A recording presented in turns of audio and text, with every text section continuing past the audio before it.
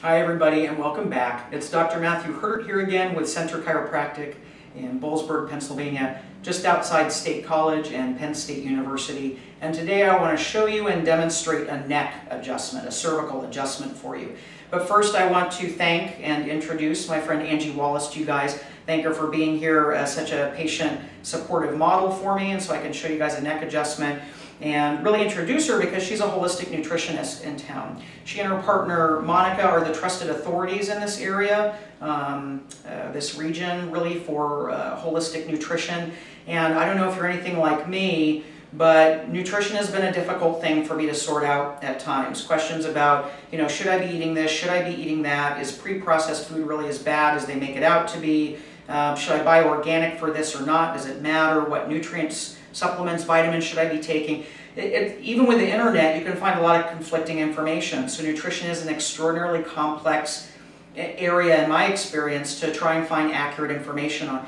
They are great not only at helping you answer those basic questions and really get that in line for yourself, but they have great diagnostic tools for assessing whether you've got allergies or deficiencies in certain areas. You really are what you eat. I know it sounds like a silly childhood thing, but you really are what you eat. And I really see the way that plays out in my practice uh, with the people that I'm treating. People who don't eat as well don't heal as quickly. So they're a great resource for that. Resource for that. Angie is a great friend, and I really appreciate she's here, and I hope you guys uh, look her up. So the neck adjustment is an adjustment a lot of people can appreciate for symptomatic relief. I think most people have had a muscle spasm or a twinge in their neck or notice tension from just sitting at a computer day after day.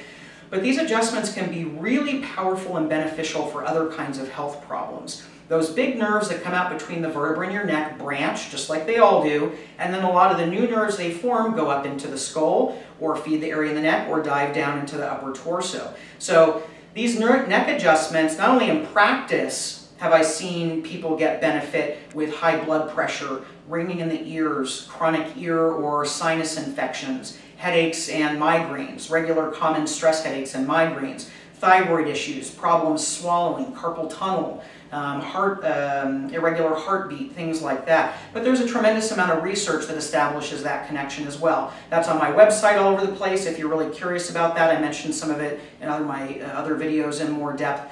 The point is, is that these adjustments aren't just about feeling good. They can really help you function better, and if you have other challenges, health challenges in more of visceral or, or organ realm, you may see benefit with those as well.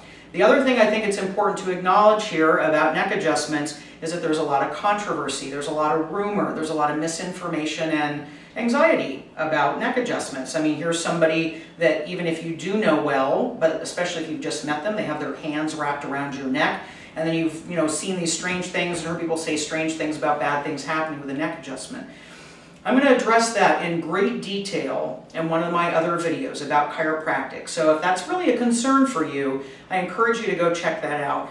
The only other thing I want to say about this at, at, at this point right now, which I think is an extraordinarily significant fact, is that the average doctor's malpractice insurance in 2005 was around $91,000 a year.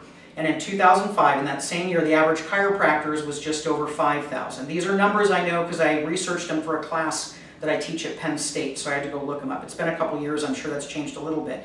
But the point is there's an $86,000 difference there in our malpractice insurance. So if people were really getting hurt regularly or significantly or really at all from neck adjustments, you wouldn't see that kind of disparity. Somebody would be making a lot more money off of us.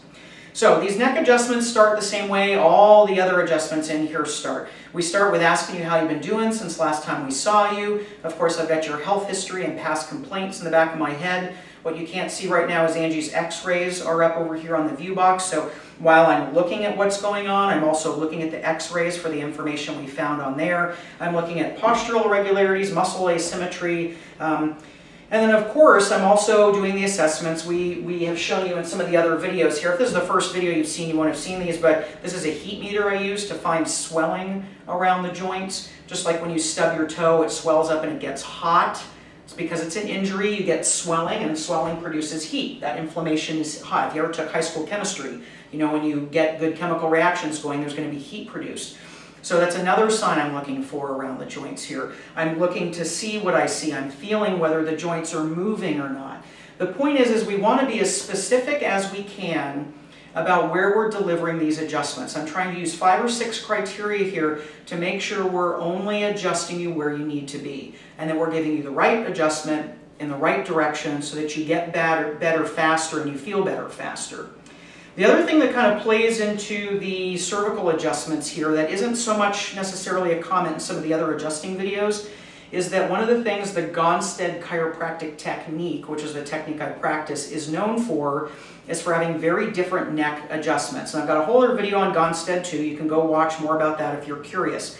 The point here is a lot of people who've been to a chiropractor or have seen chiropractic adjustments on TV or movies or heard friends talk about them hear about the twisting, right? They hear about the neck getting twisted and that's how the joint gets moved. That is not the way the neck is adjusted in this technique. And there are a few reasons for that. The first is it is not the best biomechanical adjustment for you.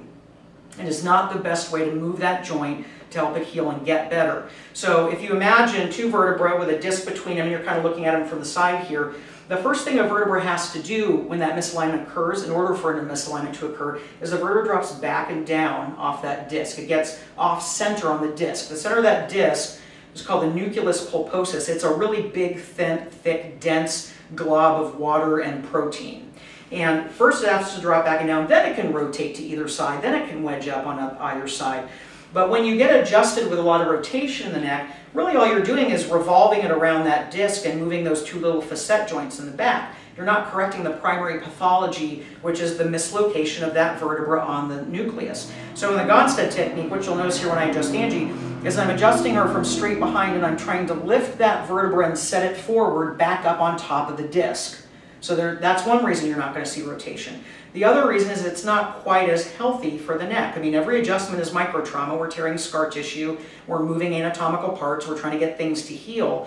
But when you turn a neck and then you extend it and then you thrust through, if you imagine me holding back here and thrusting through, the direction of the fibers in the ligaments that support and surround the disc is on about a 30 60 degree angle. It's that same angle that the person's arm is thrusting. So you're thrusting the direction of the fibers there and it makes it easier to injure those fibers. So again, it's not like people are having problems because of that, but we want to get you better with as little micro trauma in the process. And the other thing is, as you can imagine, if you've never been adjusted, you probably know if you have, with somebody's hands already wrapped around your neck, then having your neck turned, it's pretty hard to relax. And the more relaxed you are, the more effective the adjustment is going to be and the more comfortable it's going to be. So the reason we do the adjustment this really way really is because it's the best adjustment anatomically, biomechanically. It's healthier, it's safer, it, it does less damage in the process of the adjustment, and because it's a lot more comfortable for most people. At least most people tell me that in general. Was that your experience? It was a little bit better than the rotation? Oh, absolutely. Okay. So what we're going to do next is we're going to change the camera position here a little bit so you can see this from a different angle. I'm actually going to adjust Angie's neck. So just like with the other adjustments, the first thing I'm going to do is count so I can determine which segment we're on. I'm going to check the x-ray so I know the exact direction of misalignment here. I'm going to contact the vertebra in such a way as I take a little skin slack out here. That way I actually move the vertebra instead of sliding her skin around. And I'm just going to let her relax her head back towards me. And over to this side I'm contacting on a little bit, which gets all the slack out of the joint. That way I actually move the joint. The other thing that's good to know here is that this is a fast adjustment. You don't have a rib cage or a lot of muscles stabilizing the neck, so it's harder just to move the one vertebra we want to move. It's kind of like that magician's tablecloth trick. If I'm fast, then the silverware doesn't move. So I'm going to have Angie take a nice deep breath way up into her shoulders. As she exhales, she's going to drop that right shoulder a little bit. And that's the neck adjustment right there. And so that's the essence of the cervical or neck adjustment. I want to thank Angie again for letting me adjust her for you guys today.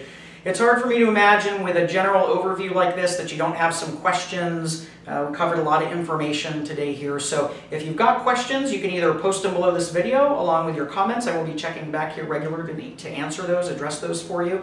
Or you can email me at my office through our website. You can call me on my lunch break if you want for a free, no cost, no obligation consultation. You can also wander around the website. Uh, we put a lot of time and energy into developing an extensive one there for you as a resource. You can subscribe to our blog. You can sign up for a free email newsletter. or you can just call our friendly staff at 466-2000 to schedule your first appointment. Whether you're in pain and trying to get out of it, or whether you want to try and avoid it in the first place, you will be glad that you did. Thanks for your time and blessings to you and yours.